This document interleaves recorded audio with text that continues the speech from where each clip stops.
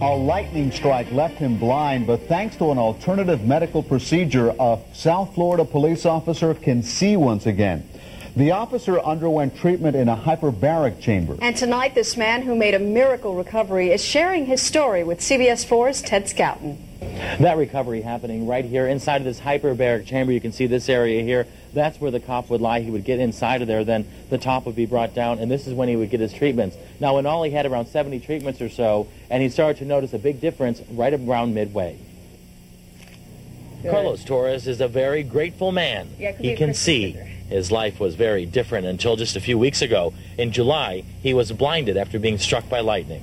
I was working in my uh, my uh, plant nursery up in Southwest Ranches, and on July 18th, I uh, was uh, indirectly struck by a lightning bolt. Uh, it resulted in me uh, being unconscious and um, had semi-paralysis on my left side of my body. Torres ended up coming here for treatment in a hyperbaric chamber after being told he would probably not see again. He'd lay in a cylinder an hour a day, six days a week for pressurized oxygen treatment. It began in late October, and then on December 6th, his life changed again. His vision was coming back. While in this chamber, the 10 minutes into into the uh, the treatment, that uh, I got real lightheaded.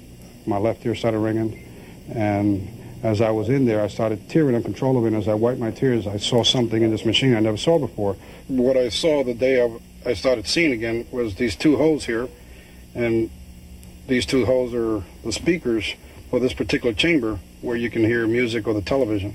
For his wife and daughter, the fact that Carlos could see again was nothing short of a miracle. It was. It is my best Christmas. I compare this with a wonderful life. After something bad happens to you, something like this will happen. Carlos' vision went from blind to near perfect. Dr. Richard Neubauer, who runs the chamber, says the reason is really quite simple. It's very simple. The cortical blindness responds very well to hyperbaric oxygen. There's no magic, no miracle. As far as plans for the future, he says he is going to go back to the Miami-Dade Police Department, but this time he says he wants to have a desk job. He doesn't want to take any more chances. In Lauderdale by the Sea, I'm Ted Scouten, CBS 4 News.